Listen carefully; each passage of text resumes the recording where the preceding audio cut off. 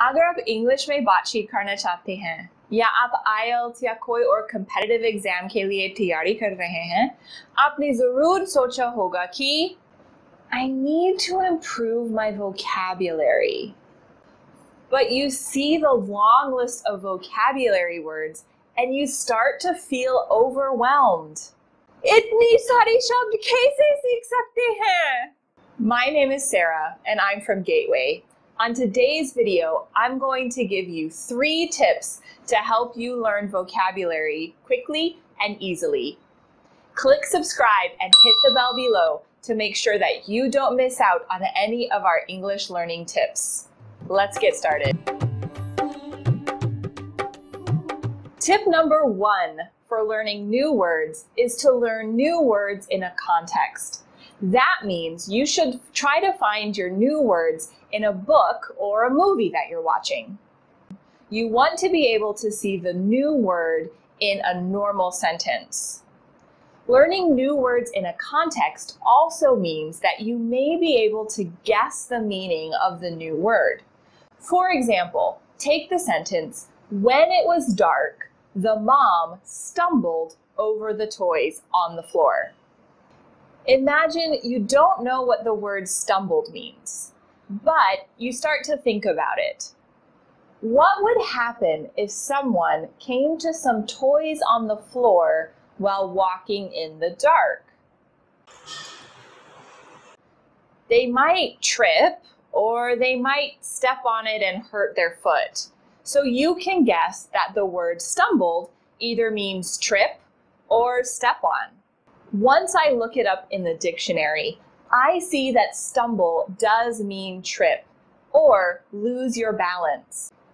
And because I've learned this word from a sentence, now I have a picture in my mind that will help me remember the meaning of the word.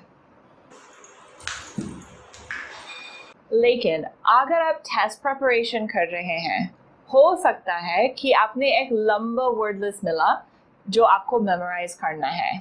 आप क्या कर सकते हैं जब आपको सीखना है बट उसके साथ सेंटेंसेस दी नहीं गई? अगर हम वो वर्ड्स डिक्शनरी में लुकअप करते हैं, हम देखेंगे कि वो सेंटेंस के साथ लिख देते हैं। It's not as good as seeing your new word in a book और hearing it in a movie but it does give you a helpful sentence to use for understanding your new word that's tip number one Learn your new words in a context. That means at least in a sentence, but it's best to find new words in a book or while watching a movie. Tip number two learn the different forms of your word. Stop for a minute and tell me what does it mean to know a word? Does it mean to just know the definition? Take, for example, in Hindi, the word pani. I know that pani means water. Does that mean I know the word? In English, water can be a noun. I drink water. But water can also be a verb. I am watering my plants.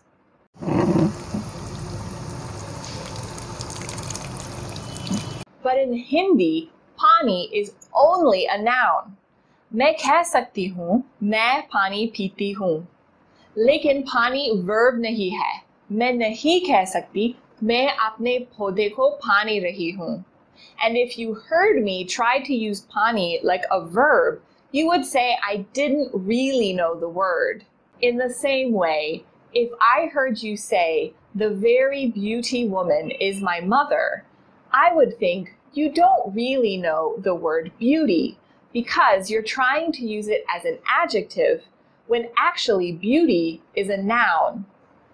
In English, many words can be changed to have a noun, verb, adjective, and adverb form. When you look up your new word in the dictionary, check the part of the entry that shows the different parts of speech that your word can be changed to fit into. Then you'll know that you should say, The beautiful woman is my mother, because beautiful is the adjective form of beauty. And you'll know that you can say, You painted that scenery beautifully, because beautifully is the adverb form of beauty. And you'll know that you can say, I need to beautify my bedroom, because beautify is the verb form of beauty. From one word, you can learn so many options. So that's tip number two. Learn all of the ways that your word can change to fit into new parts of speech.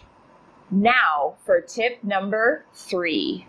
Remember, जब हम बोलते हैं कि मैंने new word सीखा इसका मतलब होना चाहिए कि हम उसका यूज जानते हैं खाली उसका मतलब नहीं न्यू वर्ड्स को प्रैक्टिस करने के लिए हमको सेंटेंसेस में बोलना या लिखना चाहिए हमारा न्यू वर्ड्स को लेके Most people just write a single sentence with each new word.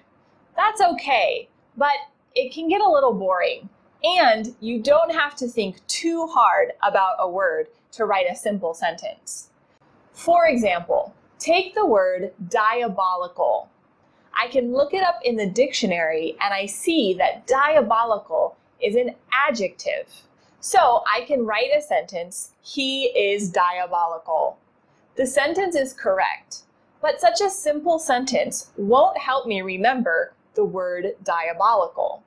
For a good challenge, I suggest that you take your new vocabulary words and try to put them in a simple short story. It will help you remember the words and how to use them.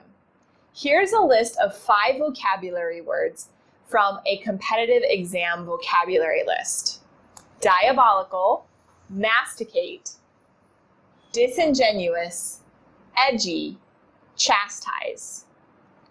I'm going to tell you a short story using these five words. Can you guess their meaning from the story?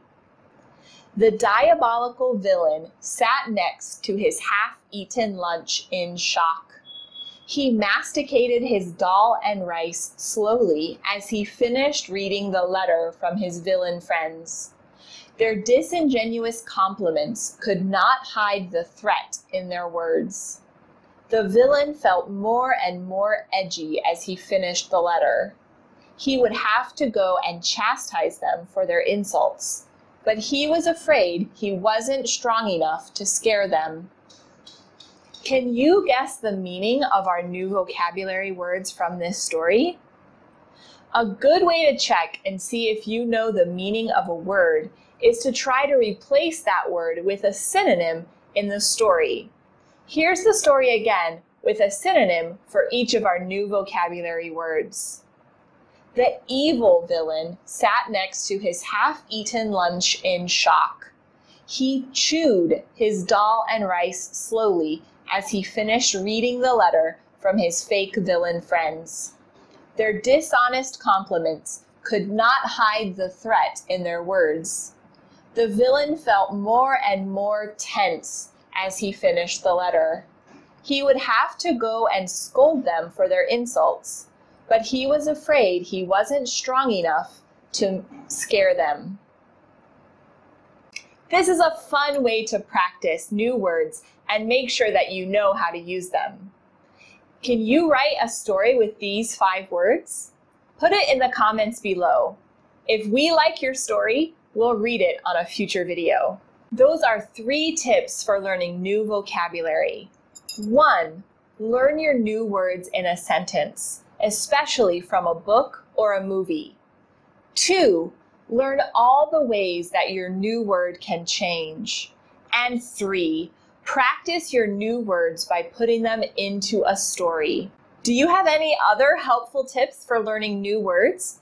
Please tell us about it in the comments below. We'd really love to hear your suggestions.